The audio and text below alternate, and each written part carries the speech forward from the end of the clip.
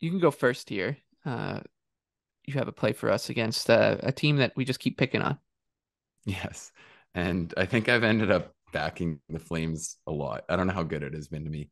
But that said, they played a pretty respectable game in New York, which every Flames game seems kind of respectable. It's always kind of the same story. They find a way to give up enough to let the other team into it, whatever it is, they don't finish their chances. But I'm going to go back to Calgary. I still believe in them. And I think it's just such a good spot versus Detroit to take advantage and collect two points. The Flames are still featuring three lines who should be able to win a lot of these matchups. If they get steady goaltending, I'd like to think they go with Vladar here. I think a lot of people were already kind of like, at what point is Sutter just going to ride Vladar when he's winning every start? Well, it wasn't the New York game. And I think Markstrom's probably been better than people think. But with that said, the Vladar numbers are starting to be a little hard to look away from. And yeah, I just think Calgary still has enough talent in the lineup to take advantage of Detroit here and just get moving in the right direction. So I'm going to go with the Flames at plus 105 to win in regulation. I got nothing uh, on that game, but my favorite bet uh, is in the Islander game. I will be there again uh, as they host Anthony Beauvillier, former Islander, and the Vancouver Canucks. Uh, Canucks plus 170, Isles minus 210, over under six and a half. The uh, Canucks are playing on Wednesday night in MSG, so it's a back to back, but you know, not, not too much travel there. And I'm going a little off uh, off the beaten path. Usually, I don't do this for this section, but I actually like the anytime goal scorer market on Josh Bailey. Uh, this is going to sound crazy because he's been terrible this entire season. But Josh Bailey's played something like a thousand and forty games in his NHL career, all with the Islanders, and I've probably seen a thousand and ten of them.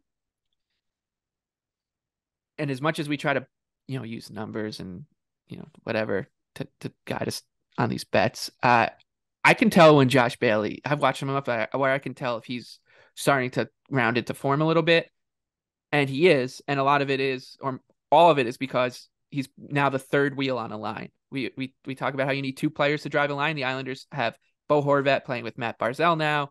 They're driving a line. It looks fantastic. Bailey is the third man. He, in true Josh Bailey fashion, uh, against the Kraken, saved his own shot off the goal line.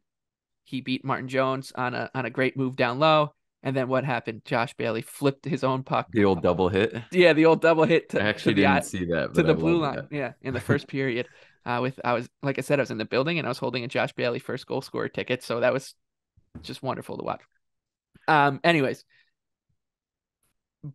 Barzal and Horvat, they're clicking already. Uh, both both players have goals uh, in their two games together.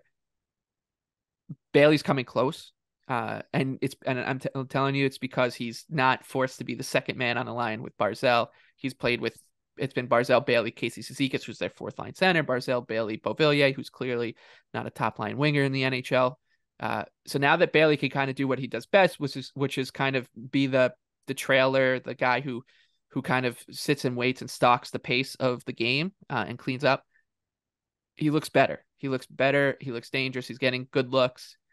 If he doesn't save his own shots, uh, he's going to find the back of the net and he's going to be a big number because he's got six goals on the season and he hasn't scored in months. So if you can get Josh Bailey, he should be around plus 350, plus 400 anytime goal scorer, or if you want to back him first goal scorer, well, however you want to do it, I think he's going to be a great bet. I also like the Islanders to to light it up uh, again. I think the offense has started to come around a little bit. It's not just Horvat; it's also Kyle Palmieri's healthy, so it gives them two legitimate scoring lines for the first time in a long, long time uh, and it allows everyone kind of just play their role, uh, their respective role. There's not too much pressure being put on guys like, uh, you know, Zach Parise, JG Pageau to to to carry the offensive burden. And they can do what they do best. Um, so yeah, Josh Bailey, anytime goal scorer. I don't know if you saw that one coming uh, as my my favorite bet for uh, Thursday night.